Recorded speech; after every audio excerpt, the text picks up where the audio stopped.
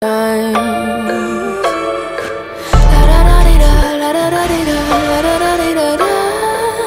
my heart and hope to die. Welcome. Wake up to reality.